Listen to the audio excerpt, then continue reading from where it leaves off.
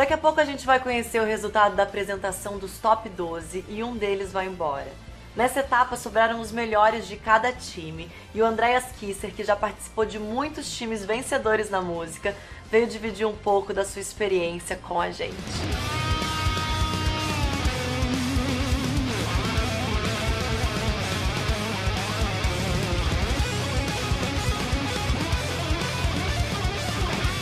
No programa tem cantores, artistas de todos os tipos de estilo musical.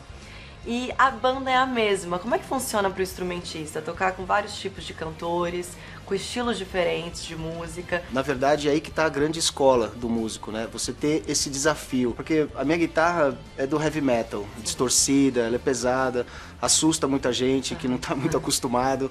Mas já toquei com, pô, com tanta gente diferente, é, Titãs, Skank, é, Caetano Veloso. Sim. Eu acho que o mais positivo de tudo isso é esse contato. Deixar as coisas rolarem um pouco e, e ver aonde você pode se encaixar da melhor forma.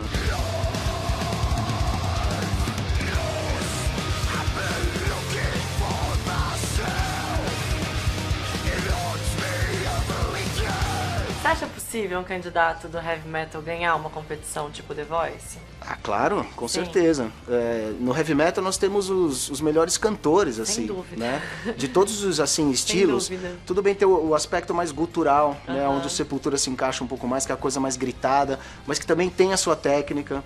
É só realmente as pessoas darem a chance para essas novas possibilidades, uh -huh. né?